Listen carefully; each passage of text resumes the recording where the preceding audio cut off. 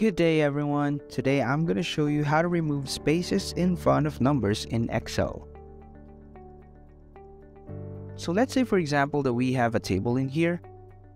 So sometimes when we get the sum of each of these numbers, it's giving us a value of 0. So for us to be able to uh, get the right value of this one, make sure to select each numbers on the table. For example, this one. I selected January and 600. So the reason why it's not giving us the right value is because of this. As you can see, it has a space inside the table. So what we're going to do is just remove that one and do the same process for all of these numbers. And then after doing that one, we're going to be able to get the total sum of each numbers. Let's try it. So now we have the total of each numbers in here. So that's pretty much it. Thank you so much for watching this video and we'll see you in the next one.